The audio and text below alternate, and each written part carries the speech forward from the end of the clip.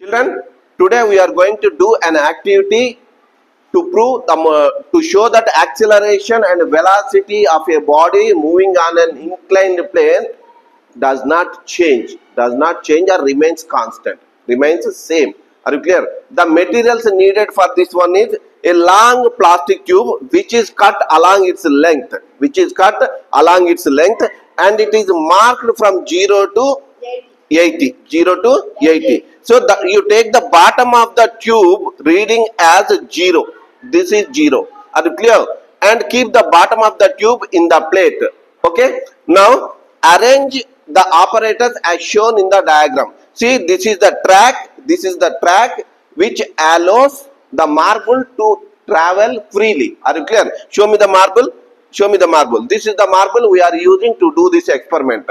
So we don't have the stop clock so i am using the digital clock my cell phone has the digital clock are you clear about that one? So in the beginning what i am doing i kept the marble keep the marble. I kept the marble at 80 centimeters 80 centimeters and release it release it. Stop it. Okay write down the note down the timings note down the timings. Here for the first trial second trial and third trial i calculated timings and i calculated the average timings average timings. And then i calculated 2s by t square is nothing but acceleration acceleration. So what is the acceleration here?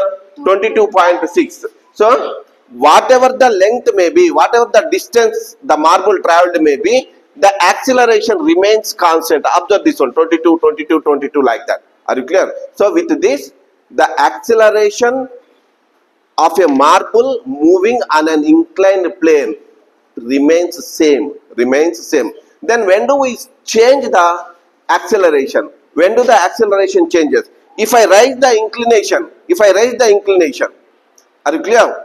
If you if i raise the inclination then acceleration also changes. Are you clear? Okay thank you. Right, close it